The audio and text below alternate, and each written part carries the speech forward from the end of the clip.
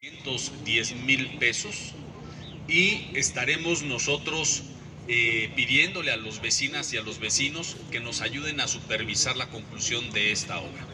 Ahorita estaremos haciendo una breve caminata para platicar también con los vecinos, verificar que por ejemplo también ese tipo de automóviles dentro de las banquetas no se encuentren instalados, tienen que ser respetadas esas áreas eh, públicas, esas áreas verdes, eh, estaremos, por supuesto, entregando totalmente limpio el bulevar, ¿no? podado, pintado, las banquetas rehabilitadas para que también las personas con discapacidad puedan transitar sobre las mismas. Y estamos muy contentos de seguir continuando con este programa de las mil calles que nos comprometimos en el trabajo de esta administración.